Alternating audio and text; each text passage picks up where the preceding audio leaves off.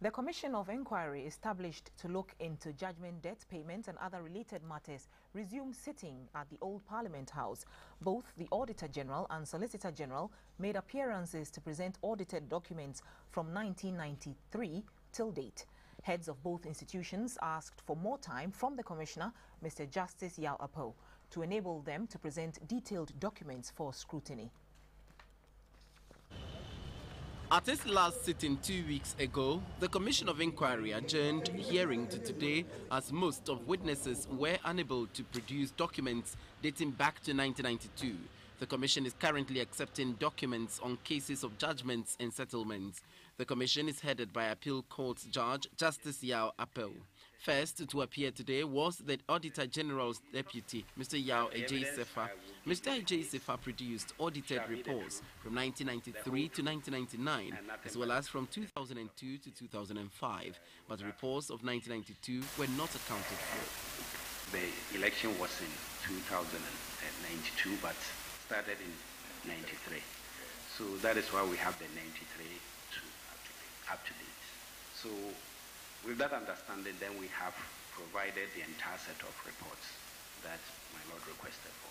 The report on consolidated fund, the report on ministries, departments and agencies, report on statutory boards and corporations, report on pre-university educational institutions, report on district assemblies, common fund. He mentioned a lot of them. Have you brought those ones or you haven't? No, we haven't brought those ones, my Lord. We brought the those ones that based on the consolidated fund. But we had a challenge getting the 93 series. Mm. So we were concerned more with getting those on the consolidated fund. But then we can still look around and then and furnish you with, you know, those other reports the Solicitor General, Ama Abuakwa Gaisie, presented a report on all civil actions against the state, but asked the Commissioner to be more specific on the matter because the civil action against the state included files of various suits and petitions against the state. Maybe we could start with the, the suit files, we call them the case files, then use the notice of intention files. Then there are also petition files people don't sue, but they petition the Attorney General or they petition the office of the President, and then the office of the President forwards it to the Attorney General's office. So we are talking about quite a number of files. The way she has grouped it, I think it is in order. That notice of intention to, to, to sue, yes, take action. Then where the actions were really taken, then the, the manner in which the actions were settled either through negotiated settlement or through admissions or through full trial or through consent judgment, just in that order. We need all those list of the cases and even the particular file.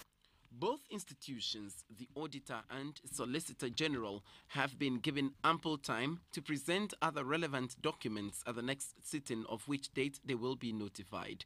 Sitting has been adjourned till tomorrow 10 a.m., where the Deputy Director of Ministry of Finance and Economic Planning and the Controller and Accountant General will present documents to the Commission. The Commission, which has one year to present its report, is investigating the causes of excess payments made from public public funds in satisfaction of judgment debts spanning the past two decades. It will also make recommendations to help ensure government does not incur undue financial losses in dealing with private individuals and institutions.